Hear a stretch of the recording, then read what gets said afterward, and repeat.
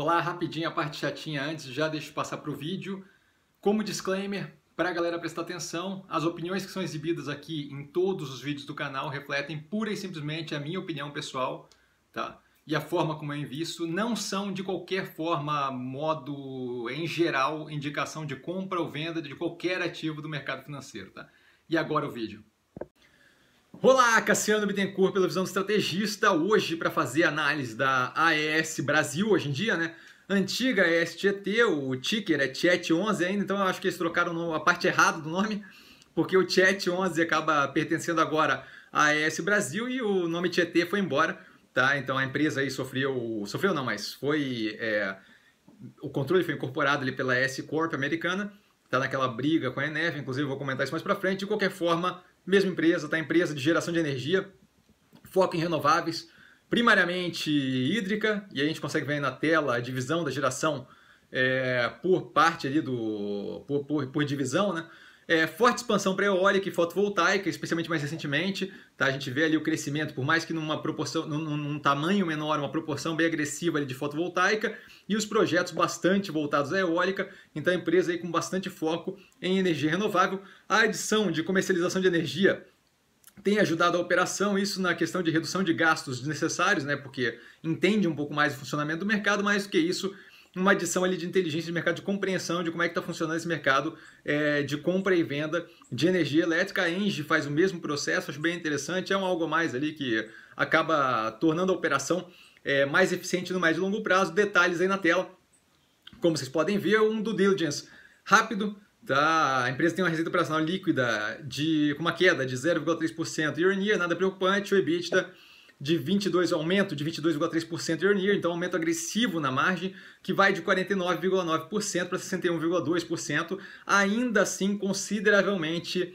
abaixo de operações como a da Ômega Geração, que gira ali na faixa dos 80% de margem operacional, né, de margem EBITDA.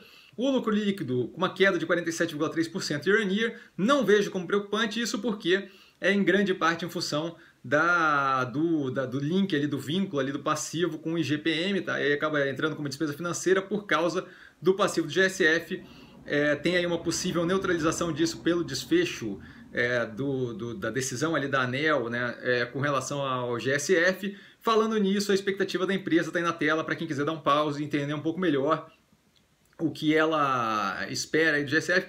Ah, não, não, não vejo sentido em aprofundar tá? e ficar confabulando sobre esse assunto. Ah, Cassiano, mas não é importante é, o desfecho disso? É, mas é imprevisível. Então, assim, é importante o desfecho disso, assim como é importante a quantidade, o, o volume pluviométrico, mas eu não fico confabulando sobre esse também, porque eu não tenho muito bem como saber para onde é que vai. A gente tem uma noção ali de que as coisas não vão sair muito é, do que permite uma sobrevivência, mas mais a fundo do que isso, acho que é um exercício de futilidade ficar tentando confabular qual vai ser a decisão tomada ali, tá? A alavancagem bem tranquila para a operação, 2,35 vezes dívida líquida sobre EBITDA, pô, mas não é alto, não para uma operação de geração de energia, que é uma operação que tem investimentos é, de ciclo longo, é, nesse período especialmente aí onde a gente tem custo de dívida, de carregamento da dívida baixo, é algo menos preocupante ainda, a empresa opera com forte geração de caixa, como a gente consegue ver pela tela, o, a alavancagem mais baixa, assim, né, comparativamente com outras de energia elétrica, deixa um espaço aí para uma maior alavancagem para o crescimento mais agressivo, eu vejo isso como positivo, mais do que isso, para a galera que gosta de dividendo, aí, que é mais focada nisso, né? A empresa ela paga bem, tá? 7,2% é, por cento de dividend yield da época da divulgação do resultado. Né? Estou analisando aqui o resultado com a teleconferência já tendo passado algum tempo, tá? mas bem positivo de dividend yield, bem é, comparável, inclusive, tirando a subida forte do preço com a análise de ontem da TRPL, da ISA CETIP, tá? que diga-se passagem é mais uma que tem o ticker completamente descasado com o nome da empresa hoje em dia, é, um payout acima de 100%, que é algo a se observar, isso porque nesse momento não é um problema, mas pode eventualmente ocasionar pressão na alavancagem eu começar a distribuir mais dividendos do que eu consigo lucrar. Então, esse payout a gente tem que acompanhar de perto só para garantir que aquilo ali não vire um problema de drenagem de fluxo de caixa da empresa para pagamento de dividendo. O nível de contratação é, da energia elétrica é conservador, tá com espaço ali aberto não contratado justamente para não ter que ir a mercado é, evitar surpresa né, e ter que ir a mercado comprar energia no mercado spot, podendo incorrer ali num custo maior que pode degringolar um pedaço da, da operação, acho positivo. A operação tem um foco muito agressivo hoje em dia no, no crescimento aí por renováveis, muito positivo, especialmente no eólico, como foi falado antes, alguns projetos aí na tela. A gente vê primeiramente o complexo eólico Ventus, tá? É, em segundo lugar, complexo eólico Tucano. Só para a gente dar uma passada, quem quiser, pause aí, né? Complexo eólico de Cajuína, ali o último, com uma expansão justamente do, da operação do Ventus lá. Tá? A migração ao novo mercado é bem positiva. Na tela, para dar um pause aí, quem quiser, o processo, como está o andamento. E aí a gente passa justamente para uma finalização, tendo isso dito, isso tudo dito.